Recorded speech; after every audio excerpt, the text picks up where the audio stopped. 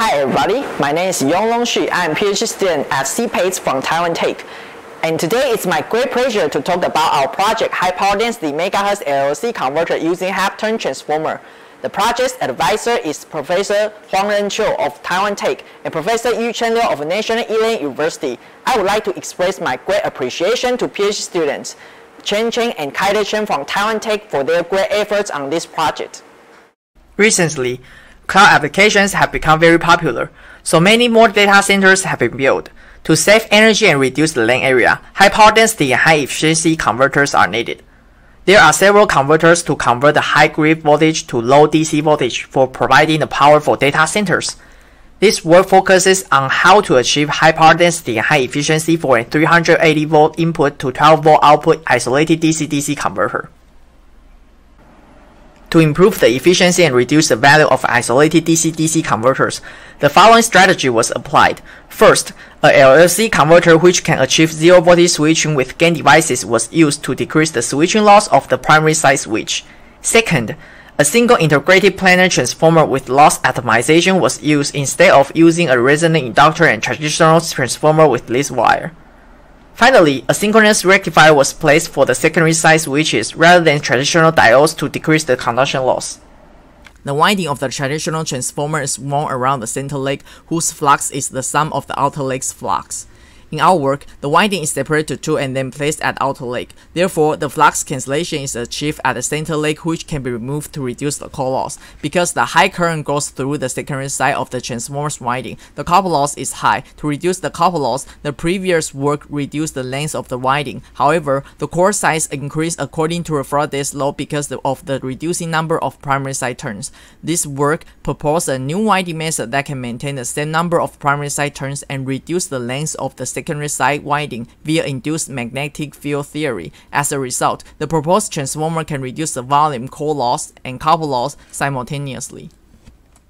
Our work, there are five steps to design a transformer. First, determine the shape of a magnetic core. Because the round type core can make the flux distribution even and reduce the length of the winding, a round type core was chosen. Second, the maximum flux density is determined to be 80 millitesla to limit the core loss.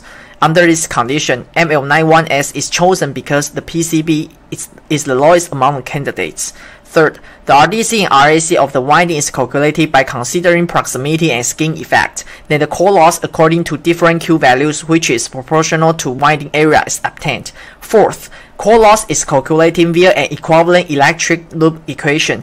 After that, core loss for different Q values which is inversely proportional to effective area of the core is obtained. The final Q value is obtained as the value that has the lowest total loss of the core which is the sum of the core loss and the copper loss. Then the size of the core can be calculated based on Q. The figure shown here is the simplified model of the primary side winding and secondary side winding. To verify the proposed design, Maxwell simulation software is used. The side view of the flux distribution proves that the flux of the core is evenly distributed. The secondary side induced, induced voltage shows that the turns ratio of the transformer is correct. The secondary side induced current proves that the current sharing of the secondary side winding is very even.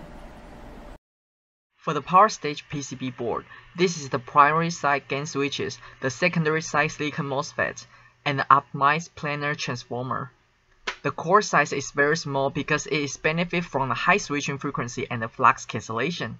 The gate signal is provided by the development kit of 28035 via coaxial cable, and the power for the gate driver is provided by the external power supply. The input voltage is 380 volts and the output voltage is around 12 volts as shown on the voltage meter. The resonant current and the VDS of the low side switch is shown on the oscilloscope. The switching frequency is close to the resonant frequency to increase the efficiency. Meanwhile, the VDS of the low side switch shows that the zero voltage switching is achieved. The specifications and the switching devices used in the proposed work are shown here. The highest efficiency is 95.2% when the output power is 400 watt. The highest temperature of the component is lower than 80 degrees Celsius under full load. There are lots of researches focusing on high power density isolated DC-DC converters as shown on the table. Compared with those, the proposed prototype has the highest power density. A patent for this work is under review and the paper for this work has accepted. This is our project from Taiwan Tech. Thank you for watching.